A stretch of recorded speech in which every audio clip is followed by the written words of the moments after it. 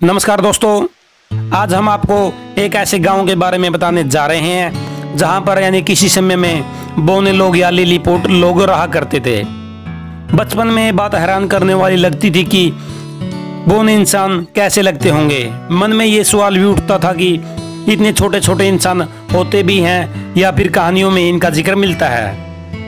क्योंकि इतने छोटे इंसान तो होते ही नहीं। लेकिन आज हम आपको एक ऐसे सच से रूबरू करवाएँगे, जिसके बाद बोनो को लेकर आपकी सोच एकदम बदल जाएगी। सन 2005 में ईरान के एक गाँव में मात्र 25 सेंटीमीटर लंबाई वाली एक मम्मी मिली थी। गहन अध्ययन और पुरातात्विक खोजों से पता चला है कि प्राचीन समय में एक बोनो का शहर हुआ करता था, जो अब ईरान के अंदर आता है।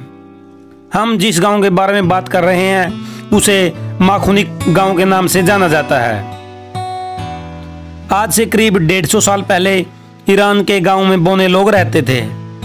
माखुनिक ईरान, अफ़गानिस्तान सीमा से करीब पचहत्तर किलोमीटर दूर स्थित है। 25 सेंटीमीटर की इस मम्मी के मिलने के बाद ये यकीन पुख्ता हो गया कि इस गाँव में बहुत कम लंबाई वाले लोग रहते थे। इस गाँव में बने पुराने घर आज भी इस बात की याद दिलाते हैं कि यहाँ बहुत कम लंबाई वाले लोग रहा करते थे। इस प्राचीन गाँव में करीब 200 के आसपास घर हैं, जिनमें से 70 से 80 घर ऐसे हैं, जिनकी ऊंचाई बहुत ही कम है। इन घरों की ऊंचाई महज डेढ़ से दो मीटर तक ही है। अगर इन घरों की छत की बात की जाए तो ये छत एक मीटर और चार सेंटीमीटर की ऊंचाई पर बनी हुई है।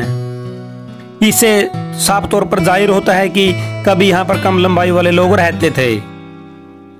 इन घरों में लकड़ी के दरवाजे बने हुए हैं और एक ही तरफ़ खिड़कियाँ बनाई गई हैं। ये घर बहुत ज़्यादा बड़े नहीं हैं, लेकिन घर में एक बड़ा कमरा बनाया गया है, जो लिलीपुटों के लिए पर्याप्त है। इसके अलावा यहाँ 10 से 14 वर्ग मीटर का एक भंडार गृह है, जिसे कादिग के नाम से जाना जाता है। यहाँ मुख्य रूप से अनाज रखा जाता था। इन घरों के कोने में एक मिट्टी का चूल्हा बना होता था, जिसे कर्षक के नाम से जाना जाता है। इसके अलावा इसी कमरे में सोने के लिए थोड़ी सी जगह भी बनाई गई है। हालाँकि आज इस गाँव के हालात काफ़ी हद तक बदल गए हैं। सड़कों की वजह से ये गाँव ईरान के दूसरे इलाकों से भी जुड़ गया है। फिर भी यहाँ ज़िंदगी आसान नहीं है। सूखे की वजह से यहाँ खेती करना बहुत ही कठिन काम है।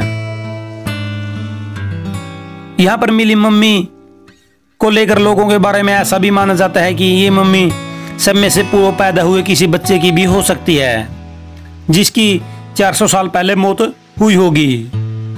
वो इस बात पर विश्वास नहीं करते कि माखुनिक गाँव के लोग बोने थे। दरअसल, माखुनिक ईरान के दूर दराज का एक सूखा हुआ इलाका है। इस गाँव में चंद अनाज जैसे सौ, सलजम, बेर और खजूर जैसे फल की खेती होती है। इस इलाके के लोग पूरी तरह से शाकाहारी बताए जाते हैं।